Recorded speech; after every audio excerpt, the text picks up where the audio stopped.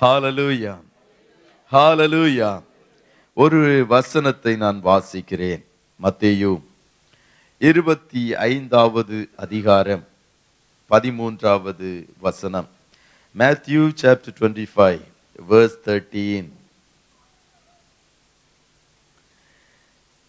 மனுஷகுமாரன் வரும் நாளையாவது நாளிகையாவது நீங்கள் அறியாதிருக்கிறபடியால் விளைத்திருங்கள் மனுஷகுமாரன் வருகிற நாளையை நாளிகையை நீங்கள் அறியாதிருப்பதனால் விழித்திருங்கள். விழித்திருங்கள் பி வாட்ச்ஃபுல் ஏமே இந்த வார்த்தையானது மிக ஒரு முக்கியமான வார்த்தையாய் காணப்படுகிறது. இயேசுவின் உபதேசங்கள் வார்த்தைகள் ஒவ்வொன்றும் நமக்கு முக்கியம்.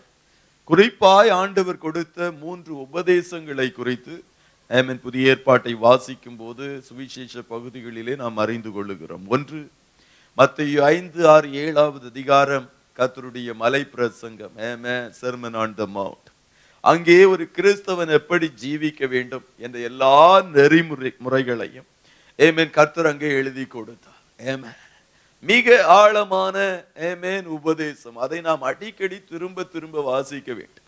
வாசித்து நம்முடைய ஜீவியத்தை அந்த வார்த்தைகளோடு ஒப்பிட்டு பார்த்தாலே கடைசி வரைக்கும் ஓடி முடித்து விடலாம். ஆண்டவர் அந்த பிரசங்கத்தை சொல்லி கடைசியில் சொன்னான் ஏமே நான் சொல்லிய இந்த வார்த்தைகளை கேட்டு இதன்படி செய்கிறவன் எவனோ அவனை புத்தியுள்ள மனுஷனுக்கு ஒப்பிடுவேன் என்று ஆண்டவர் சொன்னார். ஏமே காரணம் அவன் கற்பாரையாகிய கிறிஸ்துவின் மேல் தன்னுடைய வாழ்க்கையை கட்டி எழுப்புகிறான். ஆனால் இந்த வார்த்தைகளை கேட்டும் அதன்படி செய்யாதவன் எவனோ புத்தி இல்லாத மனுஷனுக்கு ஒப்பிடுவேன். காரணம் மணலின் மேல் அவன் கட்டுகிறான் என்ப கட்டுகிறான் என்பதாய் ஆண்டவர் சொல்லுகிறதை பார்க்கிறோம். அதன் பின்பாக யோவான் பதினான்கு பதினைந்து பதினாறு பதினேழாவது அதிகாரங்கள் பதிமூன்றிலிருந்தே நாம் வாசிக்க வேண்டும். மேமேன் அது அவருடைய அப்பர் ரூம் டிஸ்கோஸ் மேல் வீட்டறை உபதேசம். கடைசியாக ஏமேன் சிலுவையினூடாய் கடந்து செல்லுவதற்கு முன்பாக பதினெட்டாவது அதிகாரம் ஒன்றாவது வசனத்தை யோவானில் நீங்கள் வாசிக்கும் போது கதரோன் என்னும் ஆற்றை கடந்து கெத்சமனே என்னும் தோட்டத்திற்கு நேராய் கடந்து சென்றார். கடைசி ஏமேன் கர்த்தர் மேல் வீட்டறையில் கொடுத்த ஒரு உபதேசம். அந்த உபதேசத்தில் அதிகமாய் ஆவியானவரை பற்றி ஆண்டவர் சொல்லி இருக்கிறதை ஆவியானவருடைய ஊழியம் என்ன? அவர் தேற்றரவாளன் பாவத்தையும் நீதியையும் நியாய தீர்ப்பையும் குறித்து கண்டித்து உணர்த்துவார். ஏமே எந்த சபை கர்த்தருடைய ஆவியினால் நடத்தப்படுகிறதோ அங்கே ஆவியானவர் பாவத்தை குறித்து உணர்த்துவார். ஏமே மேல் பூச்சாக ஏமே நமக்கு ஏற்ற வழிகளில் உபதேசங்கள் இருப்பதில்லை. பாவத்தை குறித்து கண்டித்து உணர்த்துவார். நீதியை குறித்து நீதியாய் ஜீவிப்பதன் மேன்மையை குறித்து அதன் நிமித்தம் வருகிற பலன்களை குறித்து கர்த்த நமக்கு கற்றுத் தருவார் நியாய தீர்ப்பை குறித்தும் பேசுவார். வரப்போகிற நியாய தீர்ப்பு பெரிய ஜட்ஜ்மெண்ட் வருகிறது. ஏமேன் ஏரோ அப்படியே ஜீவித்து கொண்டு நாம் கண்களை மூடிவிடலாம் என்று நாம் நினைக்கலாகாது. ஒரு பெரிய நியாயாதிபதி அவருடைய கரங்களில் சுமுத்திரையான தராசு. அது ஒருபோதும் பொய் சொல்லுவதே இல்லை. ஏமேன் அத்தனை பேரும் உலகத்தில் தோன்றின அத்தனை பேரும் அந்த நியாயாதிபதிக்கு முன்பாய் நின்றாக வேண்டும். ஏமேன் இதை குறித்து ஆவியானவர் கண்டித்து உணர்த்துவோம் அதான் அவருடைய இரண்டாவது அப்பர் ரூம் டிஸ்கோஸ் அடுத்ததாக ஒன்று மூன்றாவது ஒரு உபதேசம் மவுண்ட் ஆலிவட் டிஸ்கோஸ் ஒலிவமலை வெளிப்பாடு. அது மற்ற இருபத்தி நான்கு இருபத்தி ஐந்தாவது அதிகாரங்களிலே காணப்படுகிறதை நாம் பார்க்கலாம். இந்த மூன்று உபதேசங்களும் கர்த்தர் தன்னுடைய சீஷர்களோடு ஏமேன் சொன்ன வார்த்தைகள். ஆகையால் கர்த்தருடைய பிள்ளைகளாகிய உங்களுக்கும் எனக்கும் யார் ஒருவன் சீஷனாய் ஜீவிக்க வேண்டும் என்று விரும்புகிறானோ அவர்களுக்காய் கொடுக்கப்பட்ட உபதேசம். ஏமேன் ஆகையால் தான் இதை நாம் அதிக கரிசனையோடு படித்து வாழ்க்கையில் பின்பற்றுகிறவர்களாய் நாம் காணப்பட வேண்டும். இதுதான் ஒலிவமலை வெளிப்பாடு. ஒலிவமலை வெளிப்பாடுலே ஏமேன் ஆண்டவரே உடைய வருகைக்கு ஏமேன் வருகைக்கும் உலகத்தின் முடிவுக்கும் அடையாளம் என்ன என்ற ஒரு கேள்வியை சீஷர்கள் வைத்த வேளையில் ஆண்டவர் அவர்களோடு கற்றுக் கொடுத்த பாடம்தான் இந்த ரெண்டு அதிகாரங்களில் எழுதப்பட்டிருக்கிறது. முதலாவது ஆண்டவர் சொன்னா ஒருவனும் உங்களை வஞ்சியாதபடி எச்சரிக்கையா இருங்கள் என்று சொல்லி ஒரு பெரிய உபதேசத்தை இருபத்தி நான்காவது அதிகாரத்திலிருந்து துவங்கி இருபத்தி ஐந்தாவது அதிகாரத்துல ஆண்டவர் கர்த்தருடைய ஜனங்களாகிய நீங்களும் நானும் விழிப்புள்ளவர்களாய் காணப்பட வேண்டும். ஆயத்தமாய் கர்த்தருடைய வருகைக்காய் விழிப்போடு நாம் காணப்பட வேண்டும் என்ற ஒரு பெரிய ஆலோசனையை கற்று கற்று தருகிறதை பார்க்கிறோம். குறிப்பாக இருபத்தி ஐந்தாவது அதிகாரம் ஒன்றிலிருந்து பதிமூன்று வசனங்கள். ஏமே நாம் எல்லோரும் அறிந்த ஒரு ஓமை. ஆண்டவர் தன்னுடைய ஊழியத்து நாட்களிலே ஓமைகளோடு ஜனங்களோடு ஓமைகள் மூலமாய் ஜனங்களோடு பேசினார். காரணம் என்ன? சாதாரண படிப்பறிவு இல்லாதவர்களுக்கு கூட இந்த ஓமைகள் மூலமாய் ஒரு காரியத்தை கற்றுக் கொடுக்கும் போது எளிதாய் அதை புரிந்து கொள்ளுவார்கள். பாமர மக்களும் படித்தவர்களும் எல்லோரும் எளிதாய் புரிந்து கொள்ளுவதற்காய் தான் ஊமைகளை சொல்லி கர்த்தர் போதிக்கிறவராய் காணப்பட்டார் ஓமைகளினால் அன்றி ஆண்டவர் ஒன்றையும் போதிக்கவில்லை என்றும் ஒரு வசனம் சொல்லுகிறது. ஆக நாம் கற்றுக்கொள்வதற்கு எளிதாய் ஒரு ஓமையின் மூலமாய் கர்த்தருடைய வருகைக்காக நாம் எவ்வளவு ஆயத்தத்தோடு எவ்வளவு விழிப்போடு காணப்பட வேண்டும் என்று எழுதப்பட்ட ஒரு சம்பவத்தை தான் ஒன்றாவது வசனத்திலிருந்து பதிமூன்றாவது வசனம் வரைக்கும் நாம் வாசிக்கிறவர்களாய் காணப்படுகிறார் ஒன்றாவது வசனம் சொல்லுகிறது அப்பொழுது பரலோக ராஜ்யம் தங்கள் தீவட்டிகளை பிடித்துக்கொண்டு மணவாளனுக்கு எதிர்கொண்டு போக புறப்பட்ட பத்து கன்னிகைகளுக்கு ஒப்பாயிருக்கிறது. இந்த ஓமையானது பரலோக ராஜ்யத்தை பற்றி சொல்லப்பட்ட ஓமை. இயேசுவின் முதல் பிரசங்கம் என்ன? மனம் திரும்புங்கள் பரலோக ராஜ்யம் சமீபமாயிருக்கிறது. ஏமேன் அன்று அவர் கொடுத்த உபதேசம் ரெண்டாயிரம் வருஷங்களுக்கு முன்பாய் ஆண்டவர் சொன்னார் நீங்கள் மனம் திரும்புங்க. பரலோக ராஜ்யம் அருகில் இருக்கிறது சமீபமாய் இருக்கிறது. I இன்றும் கர்த்தருடைய ராஜ்யத்திற்காக நாம் காத்திருக்கிறவர்களாய் காணப்படுகிறோம். அது மிகவும் சமீபமாய் காணப்படுகிறது. எப்போது வேண்டுமென்றாலும் தேவனுடைய ராஜ்ய தேவனுடைய வருகை காணப்படலாம். வருகைக்கு பின்பாய் கர்த்தருடைய பிள்ளைகள் ஏமேன் தேவனுடைய ராஜ்ய பரலோக ராஜ்யத்தின் பாத்திரவான்களாய் மாறிவிடலாம். எப்போது வேண்டுமென்றாலும் நடக்கிற ஒரு சம்பவம். இங்கே ஏமேன் பரலோக ராஜ்யமானது தங்கள் தீவட்டிகளை பிடித்து கொண்டு மணவாளனுக்கு எதிர்கொண்டு போக புறப்பட்ட பத்து கன்னிகைகளுக்கு ஒப்பாய் இருக்கிறது மணவாளன் யார்? ஏஸ் எல்லோருக்கும் தெரியும். ஆமென் மணவாளன் ஏசு பிரைட் குரூம் ஏசு. ஏமேன் நீங்கள் ஓசியாவில் ஒரு அருமையான வசனம் உண்டு. வாசியுங்கள். ஓசியா இரண்டாவது அதிகாரம் பத்தொன்பதாவது வசனத்தின் முதல் பகுதி.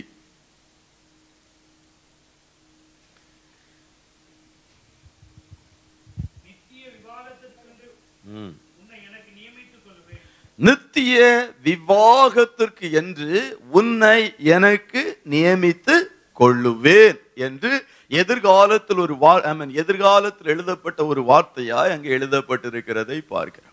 கர்த்தர் உங்களையும் என்னையும் தெரிந்து கொண்டது எதற்காக? ஒரு நித்திய விவாகத்திற்காக. நித்திய நித்தியமாய் நாம் அவரோடு ஜீவிக்க வேண்டும் என்ற நோக்கத்தோடு தான் கர்த்தர் நம்மை தெரிந்தெடுத்திருக்கிறார். ஏமேன் ஆண்டவர் மணவாளன். ஏமே நம்மை நித்திய விவாகத்திற்கு என்று நம்மை தெரிந்து கொண்ட கர்த்தராய் அவர் காணப்படுகிறார். அடுத்ததாய் அதே வசனத்திலே பத்து கனிகைகளுக்கு ஒப்பாய் இருக்கிறது. கனிகைகள் யார்? கர்த்தருடைய சபை மணவாட்டி. ஏமே மணவாட்டி என்பது கர்த்தருடைய சபையை குறிக்கிறதாய் காணப்படுகிறது. நீங்களும் நானும் கர்த்தருடைய பார்வையிலே கர்த்தருக்காய் நியமிக்கப்பட்ட கன்னிகைகளாய் காணப்படுகிறோம். ஆகையால் தான் அப்போஸ் ஆகிய பவுல் ரெண்டு குருந்தியர் பதினொன்றாவது அதிகாரம் இரண்டாவது வசனத்தில் இதை குறித்து எழுதும்போது வாசியுங்கள் அந்த வசனத்தை கூட. நான் உங்களை கற்புள்ள கன்னிகை ஆக கிறிஸ்து என்னும் ஒரே புருஷனுக்கு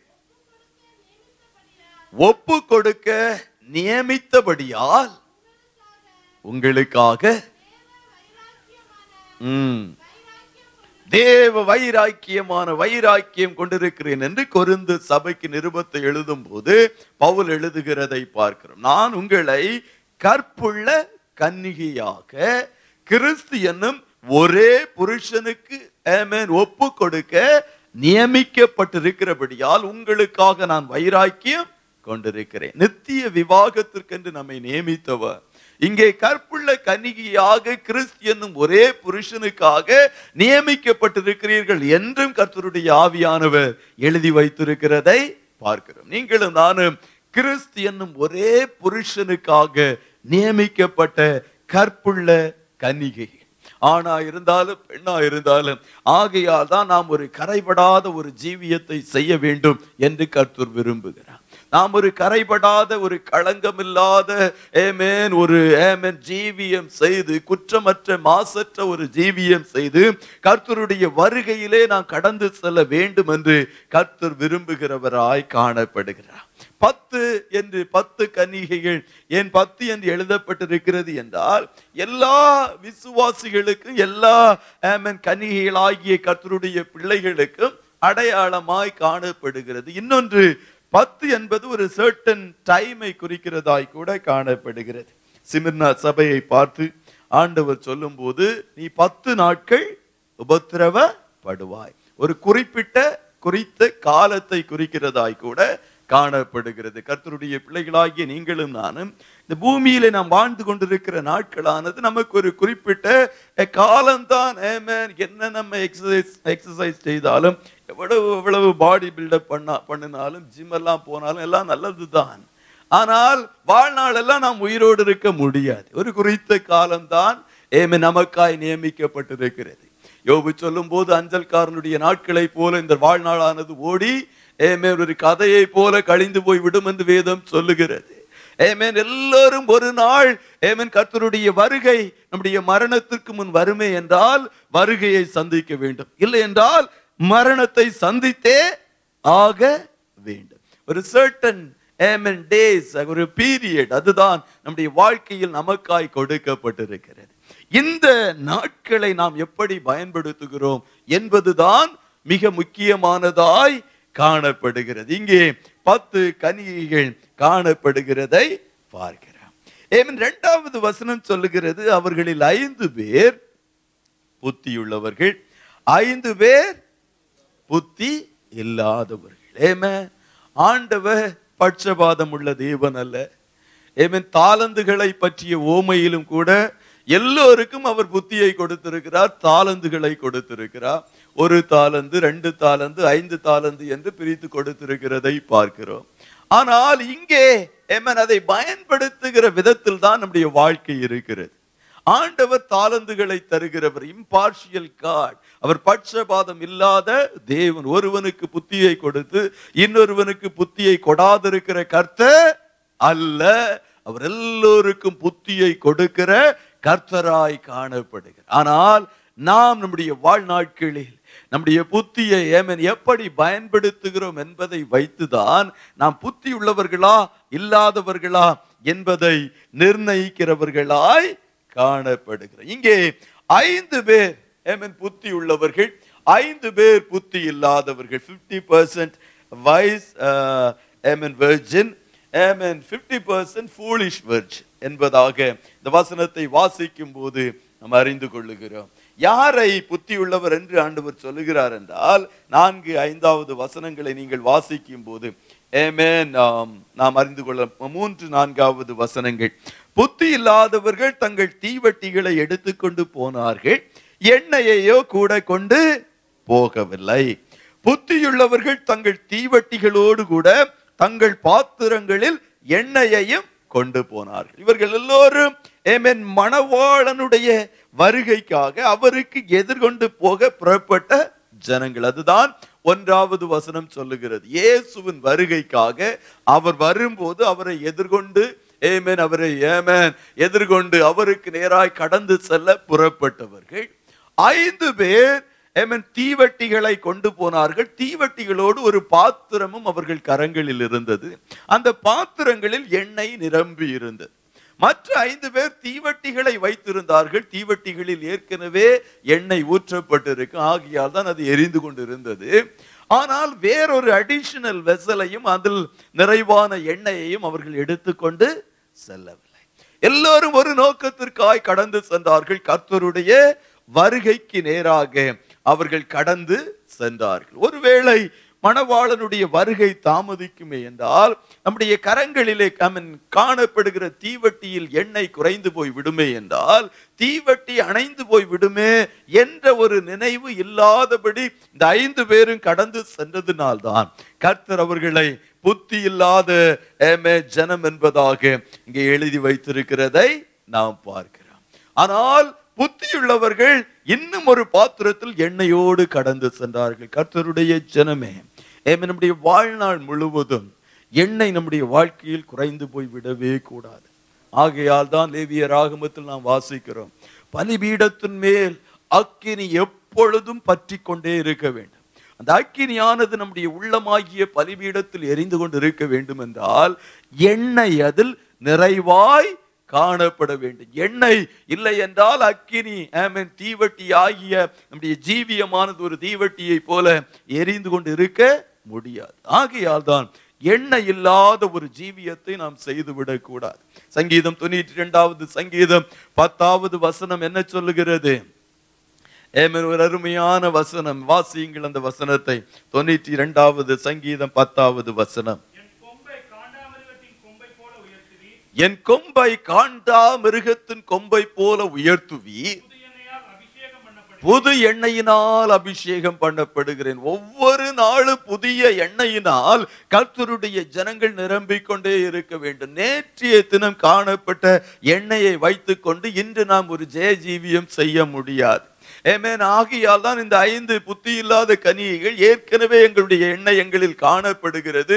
அதை வைத்தே வாழ்க்கையை ஓட்டி விடலாம் என்று நினைத்ததினால் தான் வேதம் அவர்களை புத்தி இல்லாதவர்கள் என்று அழைக்கிறது.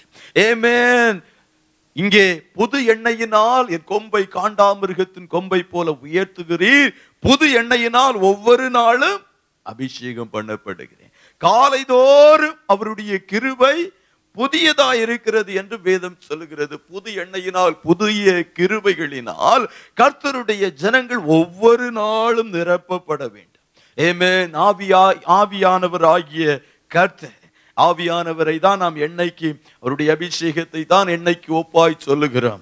ஒருபோதும் இந்த அபிஷேகத்தின் நிறைவிலிருந்து குறைந்து விடக்கூடாது. அநேக வேளைகளில் வாழ்க்கையை நீங்கள் யோசித்து பார்த்ததுண்டா அநேக வேளைகளில் நாம் மேமே நம்முடைய வாழ்க்கை வாழ்க்கை என்னும் ஓட்டத்தில் கடந்து சென்று கொண்டு இருக்கும்போது பல நேரங்களில் ஆண்டவரோடு இருக்கிற தொடர்பானது அருகிறதை போல இல்லை என்றால் போன்ற சூழ்நிலைகளை எப்போது ஆகிலும் நீங்கள் உங்கள் வாழ்க்கையில் உணர்ந்ததுண்டா வேலைகள் செய்து கொண்டிருக்கும் போது ஏமேன் ஆண்டவரை பற்றிய நினைப்பே இல்லாமல் இருந்து விடுகிற நேரங்கள் உண்டு. ஏமேன் வாழ்க்கை என்னும் ஏமேன் நாட்கள் ஜீவிய பாதையிலே அநேக சூழ்நிலைகளில் கத்தரோடு இருக்கிற ஏமேன் தொடர்பானது கட் ஆஃப் ஆகி விடுகிற நேரங்கள் நம்முடைய வாழ்க்கையில் கடந்து வருகிறது. ஒருவேளை அந்த நேரத்தில் கர்த்தர் வந்தால் நாம் எங்கே இருப்போம்? அது ஒரு பெரிய கேள்வியாய் காணப்படுகிறது. ஏமே ஆண்டவருக்கு நமக்கும் இருக்கிற அந்த தொடர்பானது அற்று போகிற அந்த நேரத்தில் கர்த்தர் ஒருவேளை வந்தாரே என்றால் நாம் நம்முடைய நித்தியத்தை நாம் எங்கே? கழிப்போம். ஆகியாதான் கர்த்தருடைய ஜனம் ஆண்டவரோடு காணப்படுகிற அந்த க்ளோசர் ரிலேஷன்ஷிப் ஒருபோது ஏமேன் அது கட் ஆஃப் ஆகி விடுகிற விதங்களில் வாழ்க்கையிலே ஒரு நாளும் நாம் காணப்படலாகாது. ஏமேன் அந்த நேரம் மரணம் நம்மை சந்திக்குமே என்றார். அந்த நேரத்தில் ஏமேன் ஆண்டவருடைய வருகை இருக்குமே என்றார்.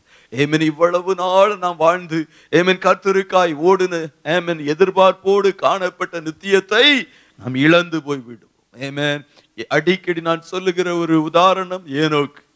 ஏமேன் அவனுடைய வாழ்க்கையில் அறுபத்தி ஐந்தாவது வயதில் ஒரு குமாரனை பெற்றெடுத்தான். அவனுடைய பெயர் மெத்துசேலா. அந்த பெயரினுடைய அர்த்தம் என்ன? அவன் மறிக்கும் போது வெள்ளம் வரும். ஏமேல் இதை பார்த்த உடனே ஏனோக்கு தகப்பனுக்கு ஒரு புத்தி வந்தது.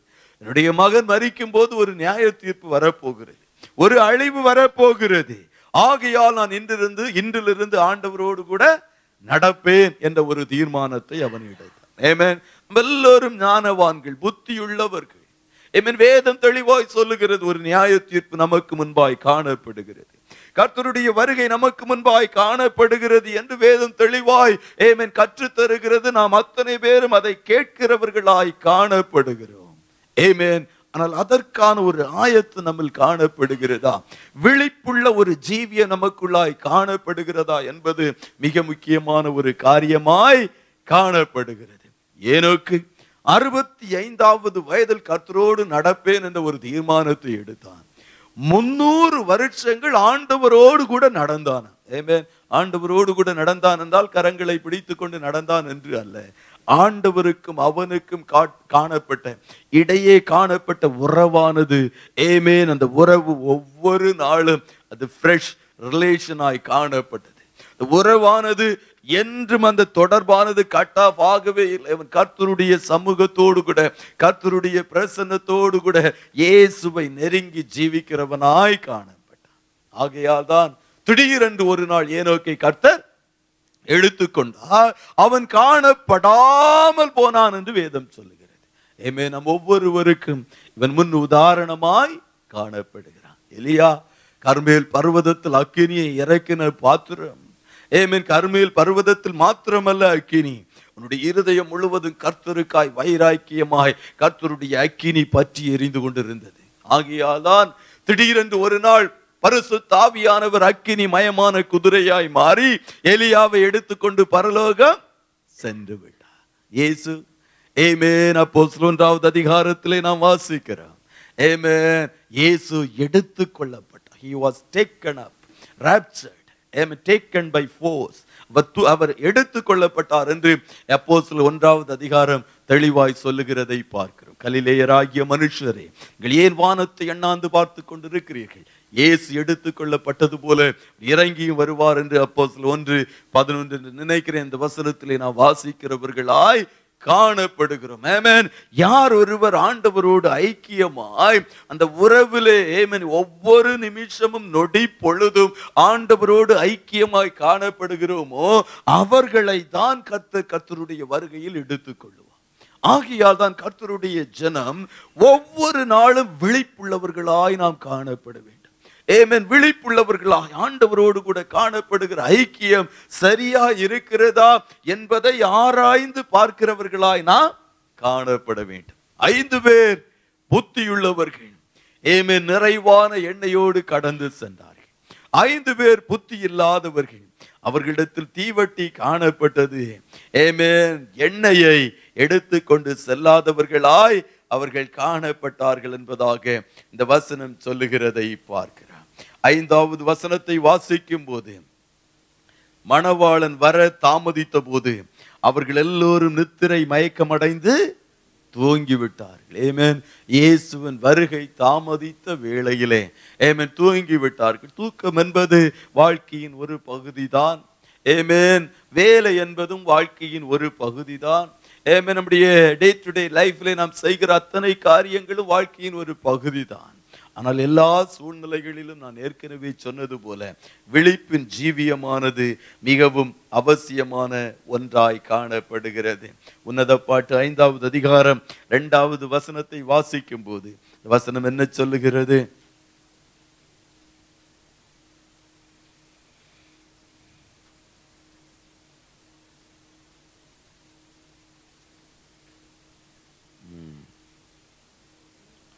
உன்னத பாட்டு ஐந்து ரெண்டு. நான் நித்திரை பண்ணினேன் என் இதயமோ விழித்திருந்தது சூலமித்தி சொல்லுகிற ஒரு அருமையான வார்த்தை.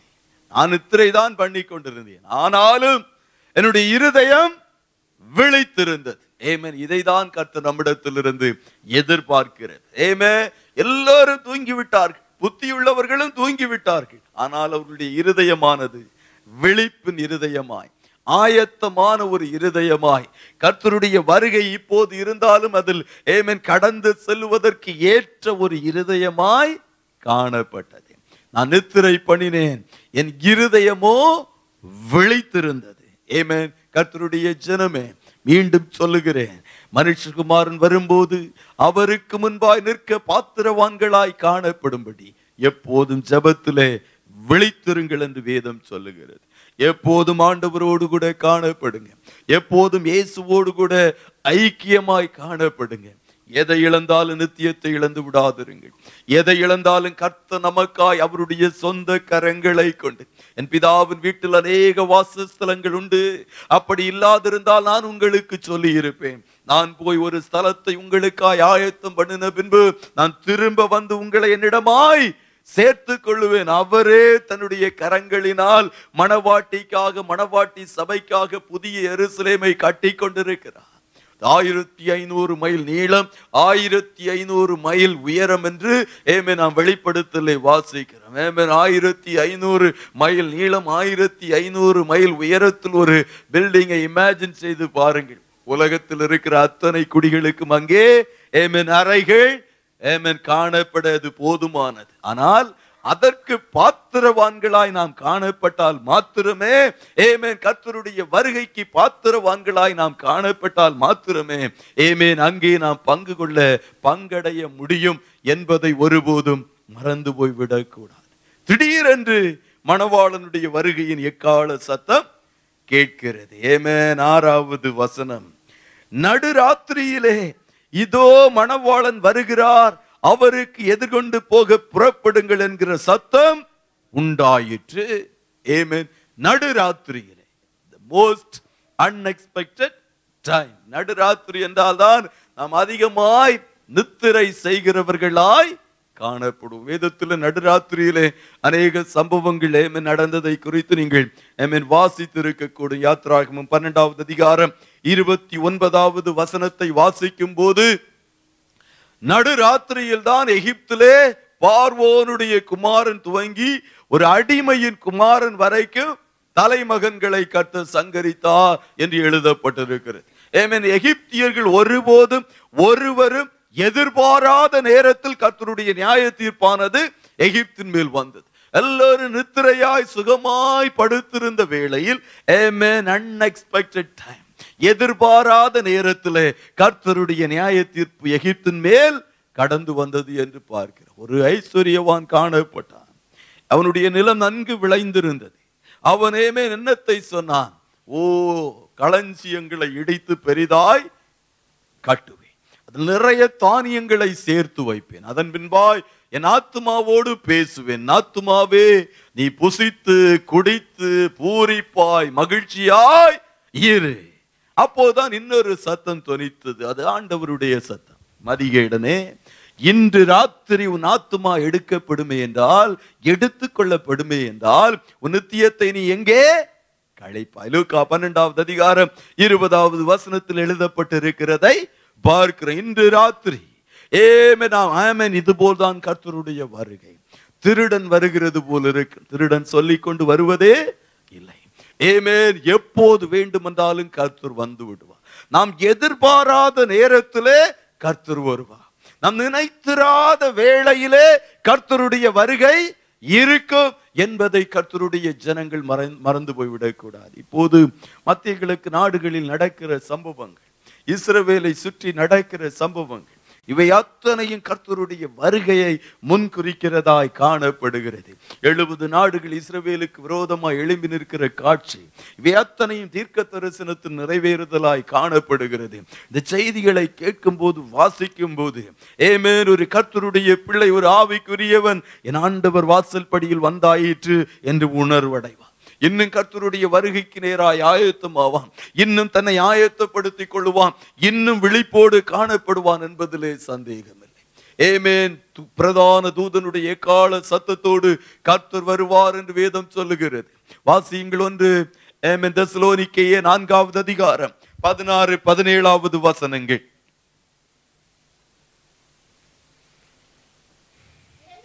ஏனெனில் கர்த்த தாமே ஆரவாரத்தோடும் பிரதான தூதனுடைய சத்தத்தோடும் தேவ எக்காலத்தோடும் வானத்திலிருந்து இறங்கி வருவார். அப்பொழுது கிறிஸ்துவுக்குள் மறித்தவர்கள் முதலாவது எழுந்திருப்பார்கள். பின்பு கிறிஸ்துவுக்குள்ளாய் உயிரோடு இருக்கிற நாமும் கர்த்தருக்கு எதிர்கொண்டு போக. மேகங்கள் மே. அவர்களோடு கூட ஆகாயத்தில் we will be taken up எடுத்து கொள்ளப்படுவோம் Amen. எப்பொழுதும் கர்த்தரோடு கூட காணப்படுவோம். ஏன் எடுத்து கொள்ளப்படுவோம் என்றால் புருஷன் ரட்சிக்கப்பட்டிருக்கலாம் மனைவி ரட்சிக்கப்படாமல் இருக்கும்போது ஏமேன் ஆண்டவருடைய வருகை வறுமை என்றாலும் ஒரு ஏமே நம்முடைய பாதி சரீரம் விழா எலும்பு இங்கே இருக்கிறது என்ற ஒரு எண்ணம் வந்து திரும்பி பார்த்து விடுவோம். லோத்தின் மனைவியை போல திரும்பி பார்த்து உப்பு தூணாய் போவதற்கு பதிலாக எந்த ஒரு ஆத்மா கர்த்தருக்குள்ளா இருக்கிறதோ அந்த ஆத்மாவை கர்த்தர் எடுத்துக் கொள்வார். We will be taken up by force amen. கர்த்தர் நம்மை எடுத்துக் கொள்வார் நம்முடைய ஆத்துமாவுக்கு நாம் தான் உத்தரவாதி. ஏமே? ஒவ்வொருவரும் அவர்களுடைய ஆத்துமாக்களுக்கு உத்தரவாதிகளாய் காணப்படுகிறோம் என்பதை மறந்து போய் விடாதிருங்க நடுராத்திரியிலே இதோ மணவாளன் வருகிறார். எதிர்கொண்டு போக புறப்படுங்கள் என்கிற சத்தம் உண்டாயிற்று. இந்த சத்தமானது எப்போது வேண்டுமென்றாலும் துணிக்கும். நம்முடைய வாழ்நாட்களில் நம்முடைய வாழ்க்கை என்னும் இந்த ஏமேன் இந்த காலகட்டங்களிலேயே கர்த்தருடைய வருகை இருக்கலாம். சூழ்நிலைகள் அப்படியாய் காணப்படுகிறது. இந்த வேலையை பிதாவாகிய தேவன் தவிர வேறொருவனும் அறியான் உண்மை. ஆனால் சூழ்நிலைகளை பார்க்கும்போது கத்து வாசல் படியில் வந்திருக்கிறார் என்பதை பார்க்க முடிகிறது. எப்போது வேண்டுமென்றாலும் எக்கால சத்தத்தின் துணி வருகையின் எக்கால சத்தம் கேட்கக்கூடிய காலகட்டங்களிலே கர்த்தருடைய ஜனங்களாகிய நீங்களும் நானும் ஜீவித்துக் கொண்டிருக்கிறோம் என்பதை ஒருபோதும் மறந்து போய் விடாதிருங்கள் இங்கே ஏமே திடீரென்று கர்த்தருடைய வருகையின் சத்தம் துணித்தது ஏழு எட்டாவது வசனங்களை வாசிக்கும் போது கன்னிகைகள் எல்லோரும் எழுந்திருந்து தங்கள் தீவட்டிகளை ஆயத்தப்படுத்தினார்கள். புத்தி இல்லாதவர்கள் புத்தியுள்ளவர்களை நோக்கி உங்கள் எண்ணெயில் எங்களுக்கு கொஞ்சம் கொடுங்கள். எங்கள் தீவட்டிகள் அணைந்து போகிறது என்றார்கள். ஒன்பதாவது வசனம் புத்தியுள்ளவர்கள் பிரதியுத்திரமாக அப்படி அல்ல எங்களுக்கும் உங்களுக்கும் போதாமல் இராதபடி நீங்கள் விற்கிறவர்களிடத்தில் போய் உங்களுக்காக வாங்கிக் கொள்ளுங்கள் என்றார்கள். நித்திரை மயக்கத்துல காணப்பட்ட வேளையில் ஏமேன் அந்த தீவட்டியானது மங்கி எரிவதை அவர்களால் நோட் செய்ய முடியவில்லை. ஒரே ஆமேன் நேரத்திலே விளக்கு அணைந்து போவதில்லை. ஏமேன் எண்ணெய் குறையும் போது மங்கி எரிய துவங்கும். நாட்களில் கிராமங்களில் எல்லாம் உடனே நாம் எண்ணெயை ஊற்றி விடுவோம். மீண்டும் அது கொழுந்து விட்டு எரியும் ஆனால் இவர்கள் நித்திரை மயக்கத்திலே மூழ்கி போனதுனால் மங்கி எரிந்த திரியை அவர்களால் கண்டுகொள்ள முடியவில்லை. கொஞ்சம் கொஞ்சமா எண்ணெய் குறைகிற வேளையிலே என்னுடைய ஆண்டவரோடு கூட காணப்படுகிற தொடர்பு அருகிறது மாதிரி இருக்கிறது என்ற ஒரு நினைப்பு வந்த வேளையில் மீண்டும் எண்ணெயினால் நிரம்புவதற்கு இவர்கள் விரும்பவில்லை. இன்னும் தீவட்டிகளாகிய தங்கள் இருதயங்களை பரிசு தாவியின் அபிஷேகத்தில் நிரப்புவதற்கு அவர்கள் ஆயத்தமாய் காணப்படவில்லை. விழிப்பின் ஜீவியம் இல்லாதவர்களாய் காணப்பட்டார். ஏமே திடீரென்று வருகையின் எக்கால சத்தம் கேட்ட வேளையிலே இவர்கள் எழும்பி ஏமே இவர்களுடைய விளக்கானது தீவட்டி ஆனது ஏமேன் அணைந்து போன ஒரு சூழ்நிலை அணைந்து போன வேளையில் ஏமேன் கர்த்தருடைய வருகையும் காணப்பட்டது. இவர்களால் ஒன்று செய்ய முடியவில்லை. புத்தியுள்ளவர்களிடத்தில் கடந்து சென்று எங்களுக்கு கொஞ்சம் எண்ணெய் ஏமே தாருங்கள் என்று கேட்கிறதை பார்க்கிறோம். ஆகையால் தான் முன்பு சொன்னது போல ஏமே நாம் ஒரு நல்ல சபையை சார்ந்திருக்கிறோம். என்பதனால் பரலோகத்திற்கு போய்விட முடியாது. ஏமேன் புத்தியுள்ளவர்களோடு நான் அசோசியேஷனுடைய அசோசியேஷன் காணப்படுகிறது ஐக்கியம் காணப்படுகிறது. அதனால் கர்த்தருடைய வருகையில் நானும் போய்விடுவேன். என்னுடைய மனைவி ரட்சிக்கப்பட்டிருக்கிறாள். ஏமேன் அவளோடு நான் காணப்படுவதனால் நான் பரலோகத்திற்கு போய்விடுவேன் என்பது நடக்காது. ஏமேன் அவரவர்கள் அவரவருடைய ஆத்மாவுக்கு உத்தரவாதிகளாய் காணப்படுகிறீர்கள். இங்கே புத்தியுள்ளவர்களோடு காணப்பட்டார்கள். கொஞ்சம் எண்ணெயை கொடுங்கள் என்று கேட்ட வேளையிலே ஏமேன் இவர்கள் சொன்னார்கள் ஏமன் உங்களுக்கும் எங்களுக்கும் போதாதபடி ஏமேன் அப்படி காணப்படாதபடிக்கு கடைகளில் விற்கிறவர்களிடத்தில் கடந்து சென்று வாங்கி கொள்ளுங்கள் என்று ஏமேன் கொஞ்சம் கூட இரக்கம் காட்டாதபடி ஏமேன் இதுவரைக்கும் சேர்ந்து வந்தோமே சேர்ந்து ஆராதித்தோமே ஏமேன் ஒரே குடும்பமாய் காணப்பட்டோமே என்பதெல்லாம் உண்மைதான். அந்த இடத்துல முகத்தை பார்த்து பேசுகிறவர்களைப் போல அவர்கள் காணப்படுகிறதை பார்க்கிறோம். ஏமே மிக முக்கியமான காரியமாய் காணப்படுகிறது. ஏமே நம்முடைய வாழ்நாட்களில் நம்முடைய ஆத்மாவுக்கு உத்தரவாதம் பண்ணி. ஏமே நாம் ரட்சிக்கப்பட்டவர்களாய் மறுபடியும் பிறந்தவர்களாய் பரிசுத்தாவியின் நிறைவை பெற்றவர்களாய் ஒவ்வொரு நாளும் புது எண்ணெயினால் அபிஷேகம் பண்ணப்பட்டவர்களாய் ஒவ்வொரு நாளும் புதிய அக்கினி நம்முடைய இருதயங்களை பற்றி பிடித்து ஆண்டவரோடு உள்ள நேசமானது ஐக்கியமானது இன்னும் அதிகமாய் நாளும் ஆழமான அனுபவங்களுக்குள்ளாய் கடந்து சென்று கர்த்தருடைய வருகைக்காய் ஆயத்தமாய் கர்த்தருடைய பிள்ளைகள் காணப்பட வேண்டும். இவர்கள் வாங்க சென்ற போது பத்தாவது வசனம் சொல்லுகிறது.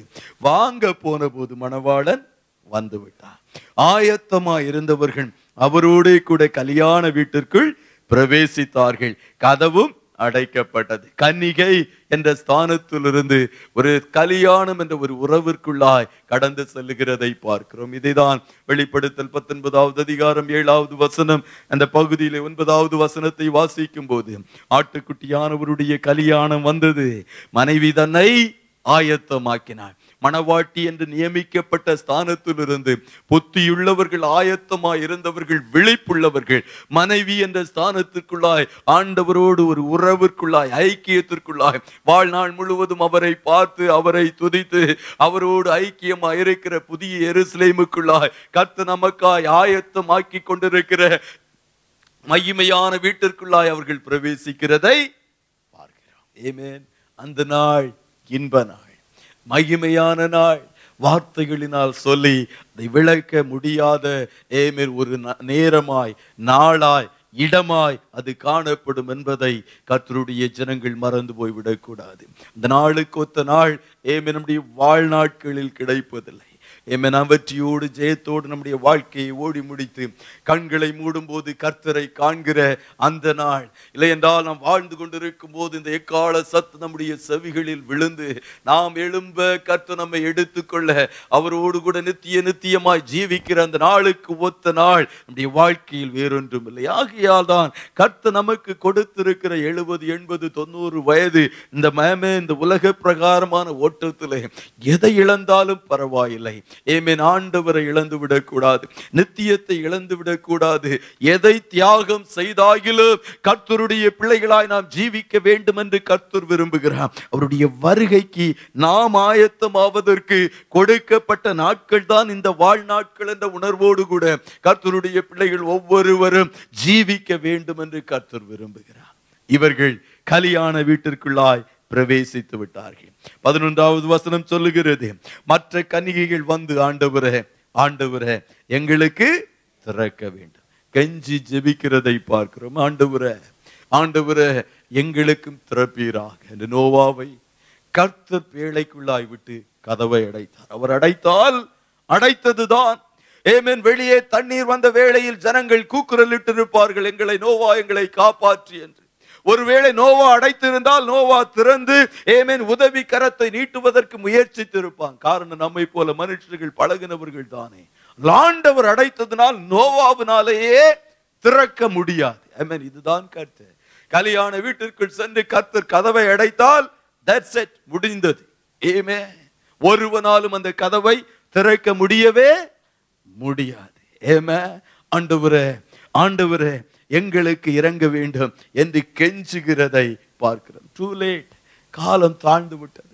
ஏமேன் கர்த்தருடைய ஜனமே வாழ்க்கை அந்த வாழ்க்கை என்னும் ஓட்டத்தில் ஆண்டவருக்காக எதை ஆகிலும் செய்து ஆண்டவரோடு ஜீவிக்க நம்முடைய வாழ்க்கையை ஒப்பு கொடுப்போம் காலதாமதமாகிவிட்டது என்றால் டூ லேட் அதன் பின்பா ஏமே நம்மை புதுப்பித்துக் கொள்ளுவது இயலாத காரியம். பின்மாற்றத்திலிருந்து திரும்பி வருவது இயலாத காரியம்.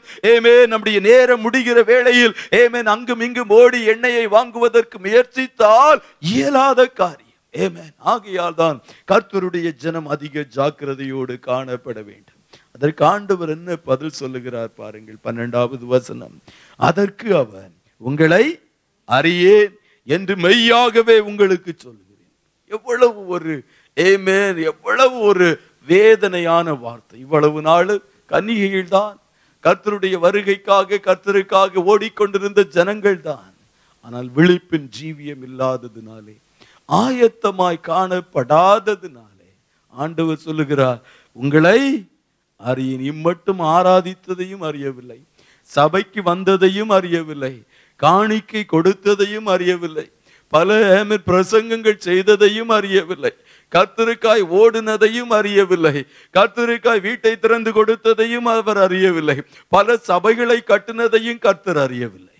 உன்னை அறியேன். ஏமே எவ்வளவு ஒரு துக்ககரமான வார்த்தை. கர்த்தருடைய ஜனமே நம் ஆண்டவருக்காய் எதை செய்தாலும் நாம் ஆண்டவரோடு நமக்கும் ஆண்டவருக்கும் இடையே காணப்படுகிற உறவை ஏமேன் அது ஒவ்வொரு நாளும் ஃப்ரெஷ் ரிலேஷனாக இருக்கட்டும். ஏமேன் ஒருபோதும் கட் ஆஃப் ஆகி விடுகிற மாதிரி என் வாழ்க்கையில் ஒரு சம்பவங்களும் நடக்க வேண்டாம். நான் நடந்தாலும் நித்திரை செய்தாலும் நம்ம வாகனங்களை ஓட்டினாலும் ஆண்டவரோடு நம்முடைய உறவானது நம்முடைய குடும்பத்தின் உறவானது தொடர்ந்து இருக்கட்டும். ஆண்டவர் அறியேன் என்று சொல்லிவிட்டான் அதற்கொத்த துக்கமான நாள் நம்முடைய வாழ்க்கையில் வேறொன்றும் இல்லை என்பதை மறந்து போய் கத்தருடைய வருகை ஒரு நாள் இருக்கு. இந்த வருகையிலே லெஃப்ட் பிஹைண்ட் கைவிடப்பட்டவர்கள் இப்படியே கதறுவார். ஆண்டவரே எங்களுக்கும் திறக்க வேண்டும். எங்களையும் சேர்த்து கொள்ள வேண்டும். புருஷனை சேர்த்து கொண்டீர என்னையும் எடுத்துக்கொள்ளும் காரணம் சபை எடுத்துக்கொள்ளப்பட்ட பின்பு பூமியானது ஒரு துஷ்ட மனுஷனுடைய கரங்களில் கொடுக்கப்படும். அந்த நாட்கள் பொல்லாத நாட்கள். அந்த நாட்கள் ஏமேன் சட்டம் ஒழுங்கு என்பதே இல்லாத நாட்கள். ஏமேன் அந்த நாட்களானது வேதனையின் நாட்கள். ஓ அதன் கூட யார்தான் கடந்து செல்ல முடியும்? ஆகையால் தான் இந்நாட்களில் ஆண்டவருடைய வருகைக்காக நாம் ஆயத்தமாவோம். கடைசியாய் கத்த சொன்னா மனுஷகுமாரன் வரும் நாளை ஆகிலும் நாளிகை ஆகிலும் நீங்கள் அறியாதிருக்கிறபடியால் விழித்து இருங்கள். நாட்களில் பரிசுத்தோடு விழித்திருப்போம். கர்த்தருடைய வருகைக்காக தாழ்மையோடு கூட நாம் ஆமீன் காத்திருக்கிறவர்களாய் காணப்படுவோம். ரெண்டு பேர் மூன்றாவது அதிகாரம் பத்திலிருந்து பதினான்காவது வசனங்களை வீடுகளில் சென்று வாசித்து பாருங்க பரிசுத்த நடக்கை உள்ளவர்களாய் தேவ பக்தி உள்ளவர்களாய் கர்த்தருடைய ஜனங்கள் காணப்பட வேண்டும். ஒன்று தசலோனிக்கையர் ஐந்து ஒன்று முதல் ஆறு வசனங்களை வாசிக்கும் போது தெளிந்த புத்தி உள்ளவர்களாய் சவுண்ட் மைண்ட் உள்ளவர்களாய் கர்த்தருடைய ஜனங்கள் கர்த்தருடைய வருகைக்காக காணப்பட வேண்டும் என்று அந்த வார்த்தைகள் சொல்லுகிறதை பார்க்கிறோம். ஆண்டவருடைய வருகை இன்று இருக்குமே என்றாலும் ஏமே நாம் ஆயத்தமாக்கப்பட்ட ஜனங்களாய் விழிப்பின் ஜீவியம் செய்கிற ஜனங்களாய் வருகையின் எக்கால சத்தம் துணிக்கும் போது ஏமே நான் ரெடி என்று சொல்ல ஏமே எப்போதும் ஆயத்தம் உள்ளவர்களாய் காணப்பட. கர்த்த நமக்கு உதவி செய்யட்டும். ஆண்டவருடைய சமூகத்தில் எழும்பி நிற்போமா? ஜெபிப்போம். Hallelujah. கண்மலையே உமை நன்றியோடு துதிக்கிறோம் அப்பா ஏம உடைய வருகைக்கு ஆயத்தமாக்கப்பட்ட பாத்திரங்களாய் விழிப்புள்ளவர்களாய் நாங்கள் காணப்பட கத்துரங்கள் ஒவ்வொருவருக்கும் உதவி செய்வீராக. எண்ணெய் குறைந்து போய்விடக்கூடாது. உம்மோடு இருக்கிற உறவு ஆனது அறந்து போய் விடக்கூடாது ஆண்டவர். எப்போதும் இயேசுவோடு எப்போதும் ஆண்டவரோடு உம்மோடு நடக்க உம்மை நெருங்கி ஜீவிக்க உம்முடைய சத்தம் கேட்க உம்முடைய சித்தம் செய்ய. கத்திரங்கள் ஒவ்வொருவருக்கும் உதவி செய்வீராக. வார்த்தைகளை கேட்ட ஒருவர் கூட கத்தருடைய வருகையில் கைவிடப்பட்டவர்களாய் காணப்படலாகாது ஆண்டவரே. உங்கள் எல்லோரும் உடைய வருகைக்கு ஆயத்தமாக்கப்பட்ட பாத்திரங்களாய் காணப்பட. கத்துரங்களுக்கு உதவி செய்வீராக. உடைய பிள்ளைகளை கத்துர ஆசீர்வதியும். செய்தியை பல மீடியாக்கள் மூலம் கேட்கிற முடிய பிள்ளைகளையும் கற்று ஆசீர்வதிப்பீராக. உடைய வருகைக்காய் ஆயத்தமாக்குவீராக. இயேசுவின் நாமத்தில் ஜெபிக்கிறோம் நல்ல பிதாவே. ஆமே